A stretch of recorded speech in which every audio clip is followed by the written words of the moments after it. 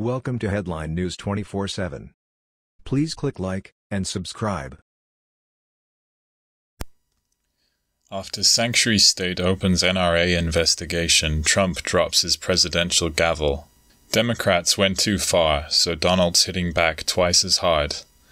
The NRA represents and fights for one of our greatest freedoms, the right to bear arms, and now it's truly under attack. We need this right to protect ourselves from an out of control government. But liberal politicians fight against this freedom. The sanctuary state of New York just went after the NRA, opening up an investigation into them. So, Trump is dropping his heavy presidential gavel on them.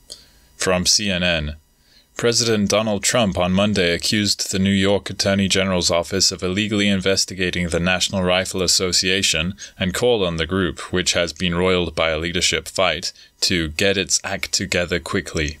Boom, what an accusation.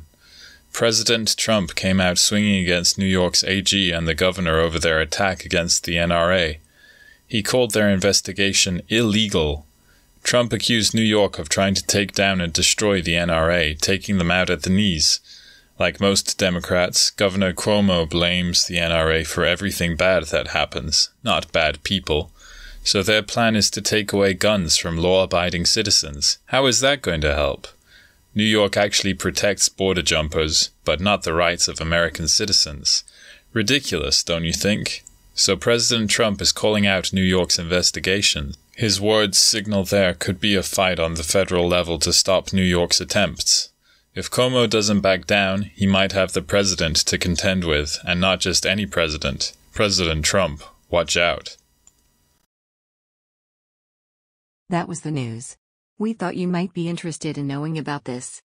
Please click like and subscribe. Thank you.